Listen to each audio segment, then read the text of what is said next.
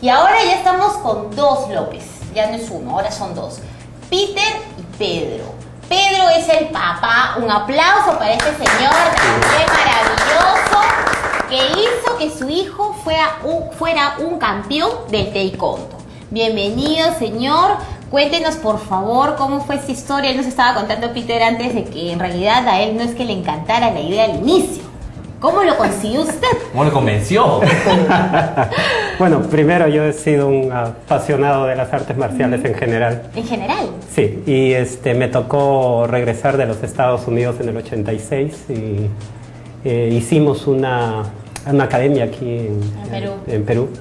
Y este, pues eh, la inauguramos en el 88 y fue ahí donde le tocó participar que, en los pininos Ajá. del taekwondo. Claro. Sí. ¿Y por qué taekwondo? ¿Por qué no de repente otra arte marcial? ¿Cómo es que usted dice, no, mi hijo tiene que hacer taekwondo? Yo, yo empecé con el karate, el Shotokan, Ya. aquí Ujú. en, en Miraflores, en la Zenbukan. Y este, pues como que el taekwondo en los 80 dio un giro y este, se hizo más popular. Y sí, este, de pronto en el 88 como deporte olímpico, la primera de las, las Olimpiadas del Seúl. Seúl. Ujú. Y este, pues eh, cambié al taekwondo. Ujú. Sí. Señor Pedro, pero ¿y finalmente cómo logra que este niñito se vuelva apasionado del taekwondo? Bueno, eh, el apasionado era yo. Ujú. Él simplemente Lo acompañaba, lo acompañaba. estaba ahí en el ambiente y agarró esa pasión. Ujú. Y después, pues, él solito se Pero va. no fue fácil, porque él contaba de que el básquet era su prioridad. Que no le Sí. gustaba, ¿no? Sí, claro, eh, pero no tenía otra opción. O sea, que yo no era basquetbolista.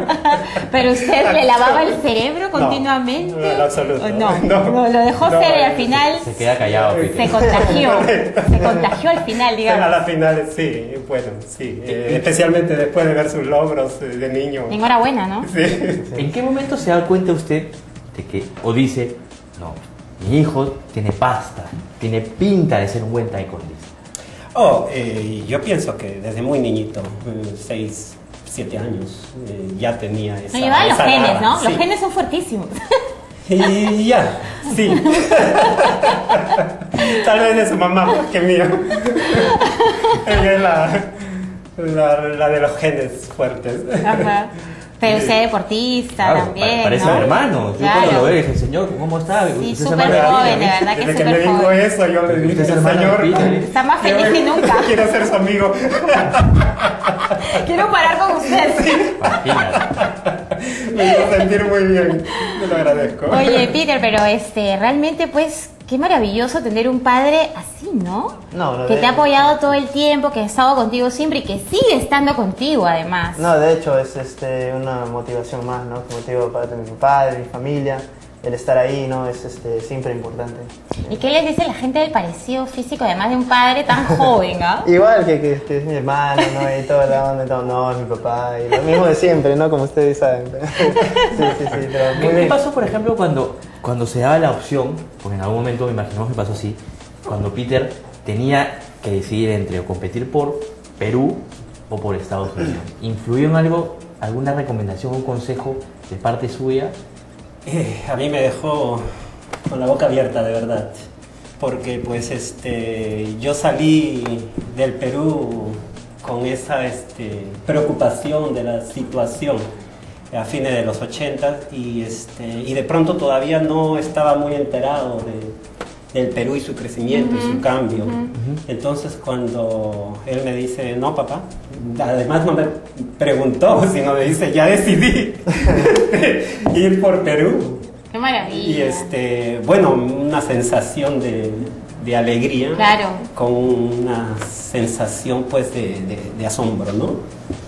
Así que este, no, y lo felicito, la verdad. yo Y ahora es habrá tenido, de hecho, eh, propuestas súper interesantes también por representar a Estados Unidos, ¿no? Sí, Sin lugar a dudas, ¿no? Estados Unidos, eh, antes de representar a Perú, ya estaba Ujú. 6, 7 años favorito allá, ¿no? Claro, claro. ¿Y qué dijeron los gringos cuando él dice, no, voy a participar por Perú? Sí, no, bueno, sí, hubo cierto choque allá y ciertos celos, Claro. pero este, bueno, eh, en Estados Unidos tienen muchos medallitas olímpicos, Bueno, entonces el- no sé... El, el- no sé el- si- el nivel deportivo es distinto, ¿no? Claro. Lógicamente que ellos preparan a los deportistas para que los representen a ellos. pues, ¿no? Claro. Entonces cuando pasa eso, como que se, ¿qué pasó acá, no? Claro, pero Peter corre por sus venas, pues sangre totalmente peruana, ¿no es Así es, cierto? así es, así el es. amor es a, a tu país es una cosa pues que en verdad eso nadie te lo va a quitar nunca. Claro, es, es diferente el sentimiento, ¿no? Ese Claro. feeling, ¿no? Es este, totalmente distinto, ¿no? Y por eso es ¿no? parte del- de la razón que hice este cambio y, y como te digo, desde ese entonces este, totalmente contento, ¿no? Ahora, Pedro, y como él nació en Estados Unidos, le puso ya Pedro pero en inglés, ¿no? De acuerdo al lado donde... al, al lugar donde estaba. Sí, sí. Sí, es cierto. Qué divertido realmente. Pedro y Peter, ¿no? Y ahora, ¿cómo, cómo vienen este, llevando este tema usted cuando él viene a Perú? ¿Usted lo sigue también a Perú? Sí, Todo el tiempo está con él. sí, a Perú y a, a los eventos donde le toque, ¿no? Ahí estamos eh, apoyándolo y dándole esa, ese calor. ¿no? Por ejemplo, cuando va a una competencia y está Peter, ¿cómo es la reacción que tiene usted? ¿Usted es mucho de gritar? ¿Se queda callado? De pronto Peter voltea y dice, papá, no me digas nada. ¿Cómo es esa situación? Qué buena pregunta. Yo lo que hago es sentarme en la esquina ya, bien, Bien lejos, bien lejos. Porque si no, no, es un saco de nervios, ¿no? Claro, me Sí, imagino. sí, sí. Porque normalmente cuando uno, uno es entrenador, pues, trata de decir, hijo, hiciste mal esto. Sí, no. Cuando eres entrenador solo, imagínate entrenador más padre. Por supuesto. Y Lo alguna vez cuando, cuando acabó una pelea le dijo, hijo, hiciste mal esto, pero, pero Peter ganó igual.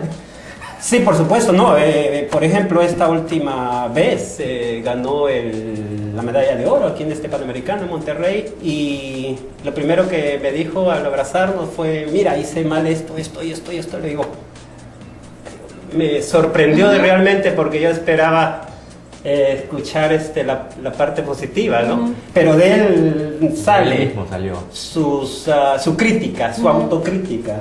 Y este, sin lugar a duda, esa es la ¿Qué es más campeón, ¿no? difícil? Mm. ¿Entrenar a un niño o un adolescente XX o entrenar a alguien que es de su familia?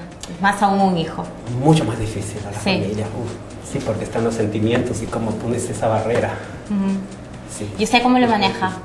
Eh, por ejemplo, cuando empezó en mi escuela, eh, él era la que se le llevaba la mayor, la peor parte, ¿no? Porque este, si les exigía a un grupo de estudiantes a que se esfuercen y hagan lo mejor, Además. él tenía que estar como El de ejemplo. ejemplo, ¿no? Claro. Porque si no decían, oye, ¿por qué a nosotros nos Claro. exiges? Porque los niñitos tienen una inteligencia Sí, pues, sí. instintiva superior, ¿no? Peter, ¿y eso fue complicadísimo para ti? Tal vez en el comienzo, ¿no? Pero... Habrás renegado un millón de veces, ¿no? Sí, de hecho ya no que- quiero, papá, que seas mi técnico. No, de hecho, de hecho que sí, ¿no? Porque... ¿Sí lo dijiste alguna vez? Creo que sí, estoy seguro que sí, este, pero es, es, este... Uno tiene que ser no, padre en la casa y, y profesor en, en, en la academia, ¿no? Pero es difícil porque ese, ese profesor de la academia, academia venía a la casa. Claro. Entonces como que había O sea, no, te podías portar mal en la academia porque si no en la casa ya... ya te Claro, caía. claro. No, pero no, de hecho, pues fue para el bien, ¿no? Del futuro. ¿no? Ajá. Porque- ¿Y ¿Cómo, cómo era Peter? ¿Era travieso? ¿Era tranquilo? Mira, por suerte, bastante tranquilo. Peter se agarra, se agarra. Tal preguntas. Eso no lo habíamos conversado.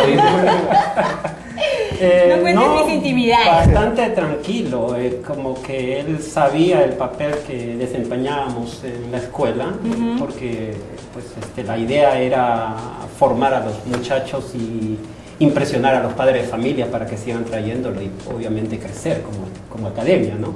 Entonces él sabía muy bien, o sea, sin que uno se lo diga, él entendía que tenía que dar el ejemplo. ¿Y en el colegio cómo era? No, excelente. Excelente. Lo- lo- lo- Este niño es un ejemplo Sí. en todo, Sí, Dios no, santo. no, o sea, lleva las medallas en todo. La mejor es no. ¿Y qué travesura recuerda? ¿Alguna travesura tiene que haber hecho? ¿Rompió una luna? No sé, pues, algo, ¿no? No puede haber sido tan angelical. Bueno, este, no, no recuerdo, este, travesuras. Quiere recordar, ¿no? No, este, no. ¿Tú no, te acuerdas de no puedo alguna recordar travesura? ninguna travesura. No, tampoco. Soy ¡Ah, no! ¡Ah, no! Inocente, inocente. Uh, la está ahí encima. Bueno, señor, de verdad, todo un gusto haberlo conocido, haberlo tenido acá en nuestro set. y que sigan los éxitos. Me imagino que para usted pues es un orgullo enorme tener un hijo como es Peter, ¿no? Sin duda. Gracias a ustedes. Y, y además yo me imagino que como Peter, usted también está ilusionadísimo con que esa medalla llegue. Pues, Se cristalice. y, se- y- y diga Peter. Y se, y se cristalizará con esa mente, con esa positividad. Ay, sí, nosotros Lo también esperamos. Bien, Peter, un beso inmenso para ti, un abrazo enorme para usted, señor, y que sigan los éxitos en este 2011. Claro que sí. Vamos, Marianito. Ya sabes, Peter. Nuevamente en Enlace Deportivo. Eso A fin de cabe. año. Así es, muchas gracias. Bien, amigos, nos estamos viendo nuevamente el día de mañana. chicos. Así es, un agradecimiento especial como todos los días a Montalvo Spa Pasión por la Belleza. Chao. Cuídense.